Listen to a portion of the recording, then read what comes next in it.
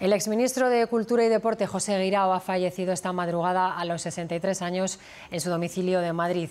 Nos vamos hasta la redacción. Irene Santamaría, Cuéntanos, ¿qué más datos tienes? Sí, buenos días. El que fuera ministro de Cultura y Deporte en la primera legislatura de Pedro Sánchez ha fallecido, como dices, esta madrugada a los 63 años en su domicilio de Madrid a causa de un cáncer, una enfermedad que le diagnosticaron hace 16 meses. Hoy a partir de las 4 el exministro será velado en el tanatorio de San Isidro y ya mañana a las 12 se realizará un responso, una oración para familiares y amigos y posteriormente el exministro será incinerado. José Guirao no ha sido solo ministro, un cargo que ocupó durante 19 meses, nueve de ellos en funciones, sino que ha ocupado otros grandes cargos. Ha sido director del Museo Reina Sofía y también de la Casa Encendida. Las redes sociales, sobre todo Twitter, se están llenando desde primera hora de mensajes de condolencias, entre ellos el mensaje de Pedro Sánchez, que ha publicado en su cuenta de Twitter que es un día triste por la pérdida de todo un referente